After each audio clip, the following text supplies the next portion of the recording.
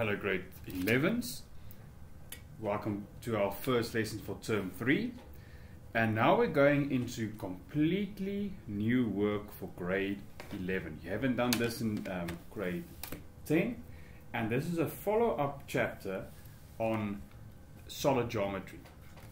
The difference here is instead of drawing one solid that you cut, this is where you take two hollow objects and they are mushed together or the fancy word, um, they are penetrating each other.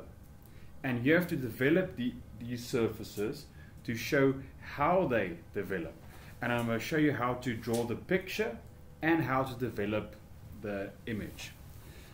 So it says, what they give you, and remember this is a follow up on solid geometry, so this is still first um, uh, first orthographic projection. There we go. So they give you the front view and the top view of a right regular uh, right square prism that has been shaped to fit around a square prism. So it's one large um, square pipe, okay, that fits into another square pipe. It's almost like imagine a tree and there's a branch sticking up. And then it says scale, draw the scale to one, the given top view, the given front view, the complete left view, so that's not given, we have to draw it, and then develop the two surfaces of both prisms. So in other words, the net, if you fold it open, how would it look like? So I'm going to start by just drawing the picture that's given, so in other words, copying it again so we can actually draw the picture. Okay, so this is, they gave you a starting point to make sure your picture fits in it's not always given, then you'll have to plan your picture.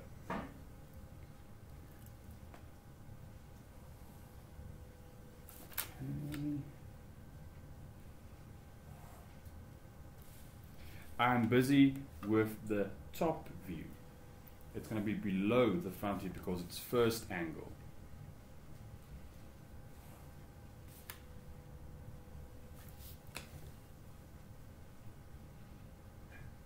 Okay, now I can't continue with the top view, and if you can't, that's fine. Now let's go to the front view. Don't forget about your XY line.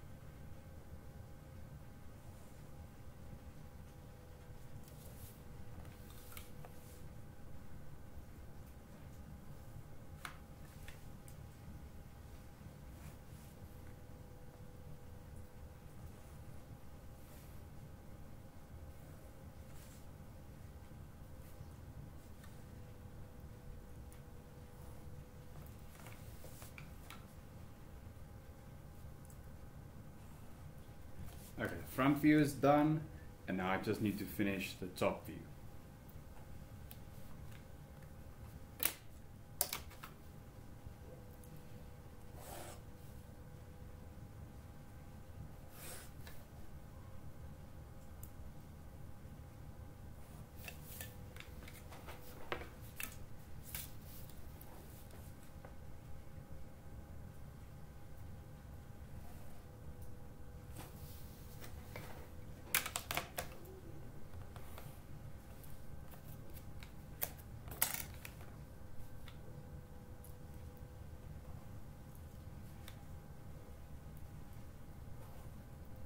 Okay, so that's the given two views. Before I do anything else, I'm going to label it because it's so much easier to, to follow along if you've got numbers. So for the big prism, I'm going to use numbers, and for the small prism, I'm going to use letters. Okay, so the big prism, one, two, three, four.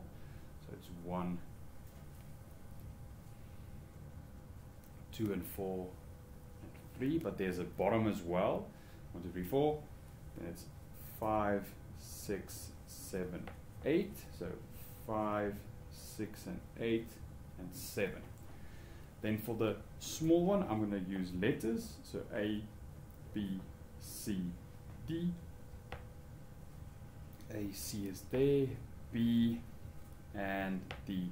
And then it, behind it, um, A, B, C, D, E, F,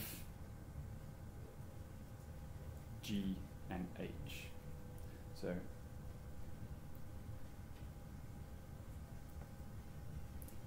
this is E, G, that's F, and that's H.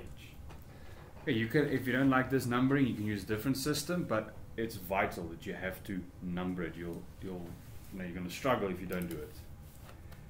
And now we have to go and draw the left view.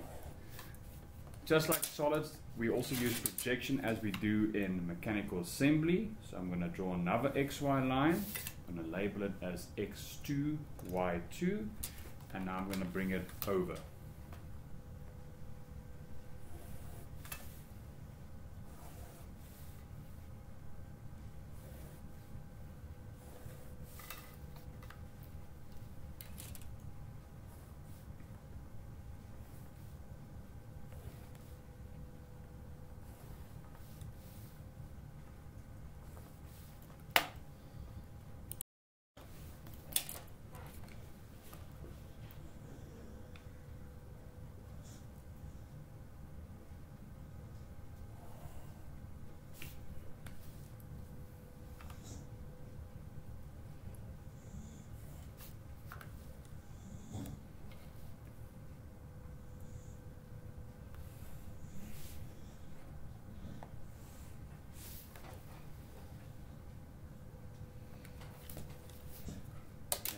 So I'm, I'm projecting it up to the left view. The square prism, the smaller one is over here.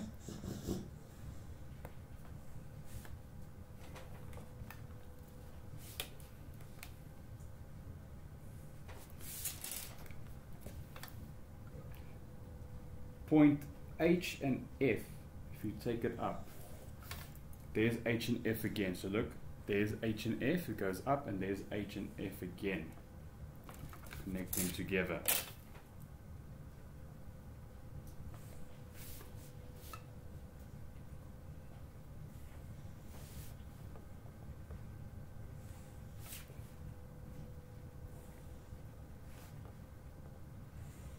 And there's the left view. Just need to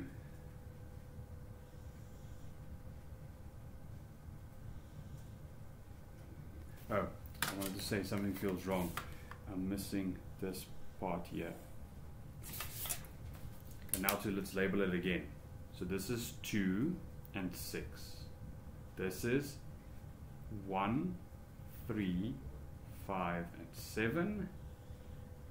And then in front is 4 and 8. Then we've got A, B and D and C At the back we've got E, F and H, and G.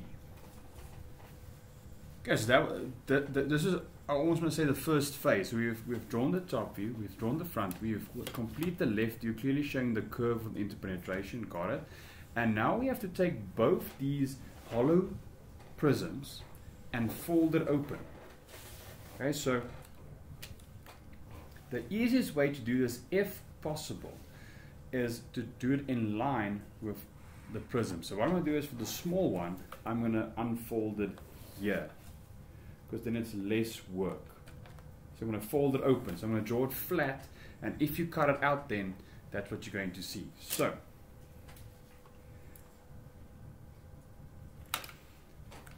now it's a square prism. And the size of the small square is 28 millimeters. So I'm going to divide, I'm going to divide this line up into four 28 because there's four sides. So there's the first 28. Now you could use a ruler, but I'm going to now use my compass.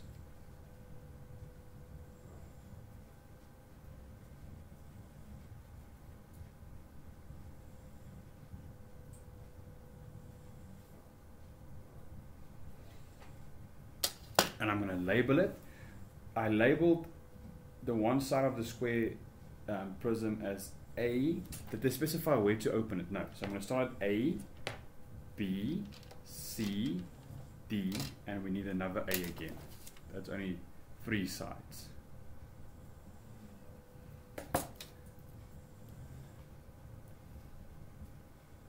And A again.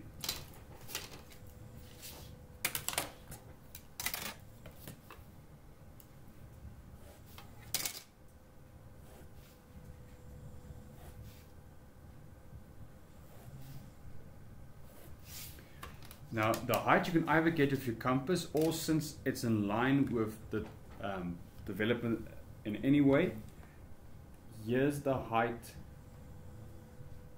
of A, B, that's the height, C is, low, is lower again, and then A again. If you connect it together, here's the development, or they call it the net of the small prism. So if it was flat on a piece of paper like this, or in a, if you think about it as a factory on a metal sheet, they would laser cut this out and then fold it together to get the um, the prism that they need. Okay, so there's so that so if I cut this out, I would get this in 3D. Okay, so there it is. Oh, and just as you can follow, uh, it was A, B, so it's E, F, G, H, and E again. You can see all the all the letters. Now for this oak, yeah. I think there's enough space next to it um, next to it. If it's not, if there's not, I'll make another plan. But let's see. I, it looks like I'll get enough space. So let's say I started there. And the big square has it's 38. So I'm going to set it set 38. I don't think it's going to fit. Then I'll show you what you're going to do. Okay, 38. Yeah, it doesn't look like it's going to fit. So 38. Ah, no. So, the only place where I still have space left is here at the bottom. So I'm going to use it. So I'm going to start drawing it here. So I'm going to first just draw a line. 30, um, the big square prism is a square as well. So I'm going to divide the square up into pieces. So I'm going to, again, I'll start at 1. And the length is 38 Let's just check again yes it's 38 so that's one part two parts three parts four so one two three four. So it's one two three four one. Yes there we go. Label it one two three four and one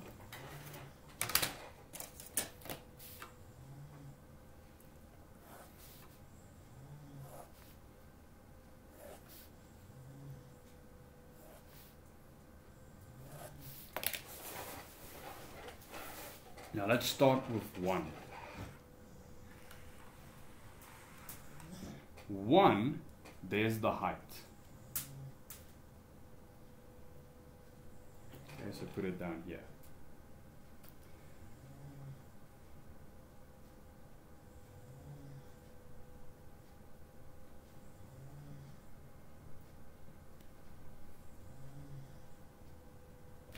I seem not to have enough space. I'm just, I'll have to move this line downwards a bit. So I'm just going to move it down a bit. And remember, 1 is technically above it. So below it is 5, 2 is 6, 3 is 7, 4 is 8, and then 1 again is 5. So let's see now if it fits.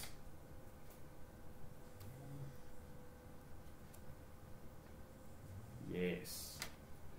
Then for 6, look at 6. That's where the other prism starts. So that's going to be a hole.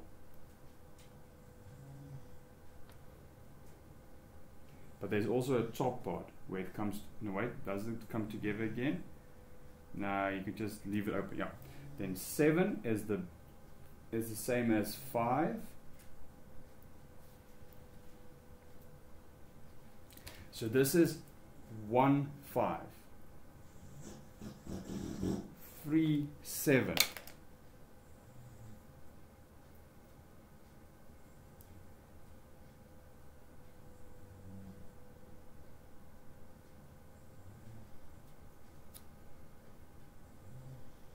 Oh, I see there's nothing at 6 actually. If you look at 6, it's just a blank. So this should be here.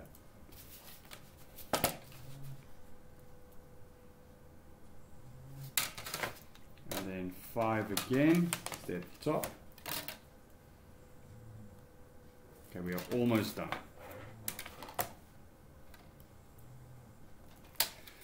Now, if you look at the top view, between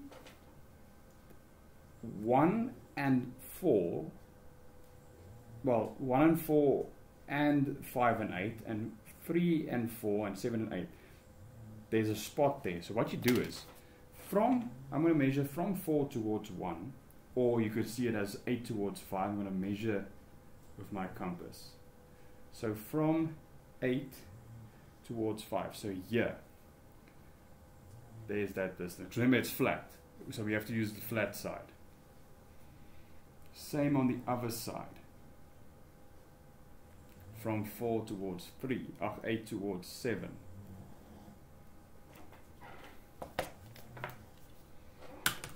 Bring this up. That's the corners. And the height you get from here.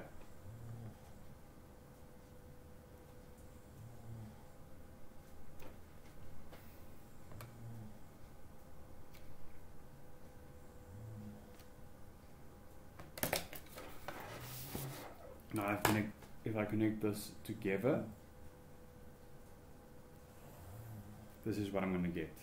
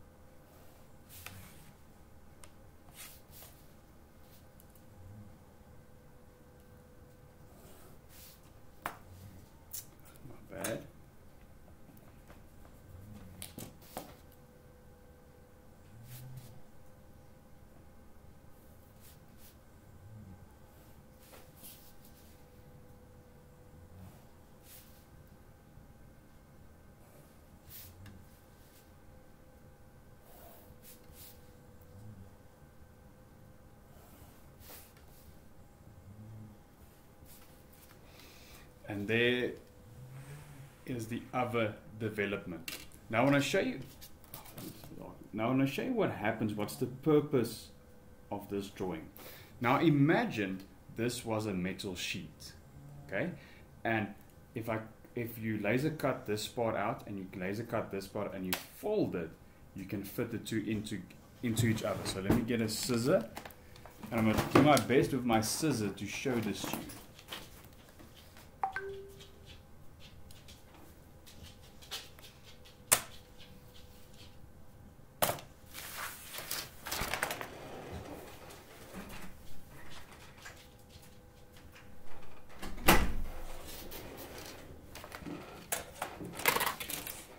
Okay, so there, there's the answer.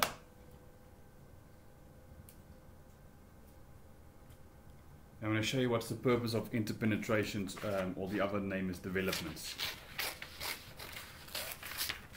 Or this is the interpenetration part and this is the development part.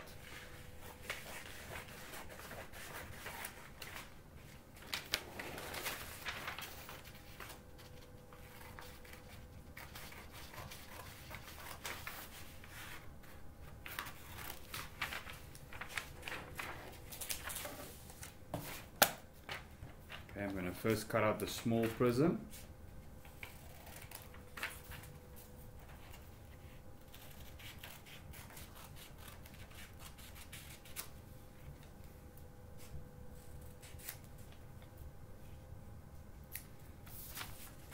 I'm going to take my board away.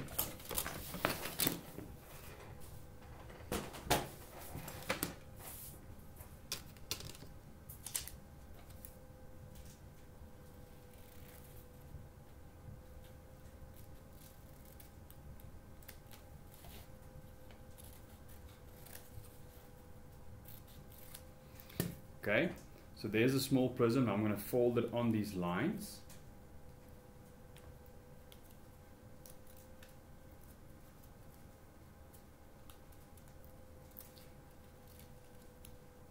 And if you bring them together,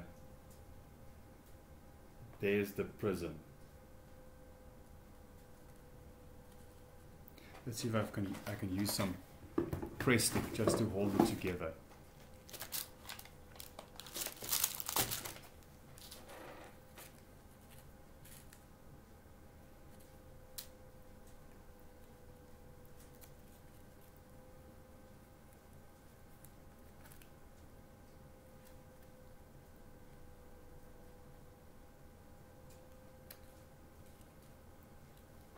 Okay, so there's the one prism, and then it fits into this prism here.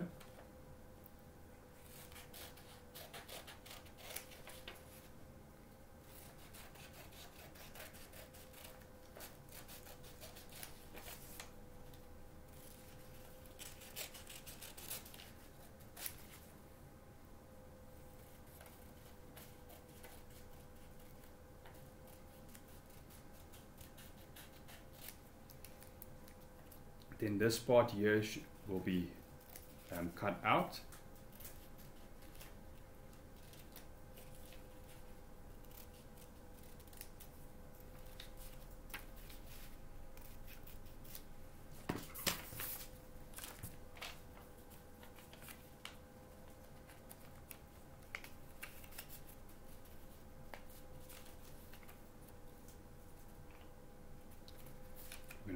Together it's not going to look perfect. Let's just see if I can hold it in place. But then the idea is that this prism fits in here. Like this. Okay, if this was now folded perfectly, you would have seen it, but that's how it fits together. Okay, so it's a it's a hollow prism, and this is like the the tree, and this is the branch, and they fit together like this. Okay, and that is page. What was the page number again? I cut it out. I can't remember. that was page. Where's my seventy-eight? There you go.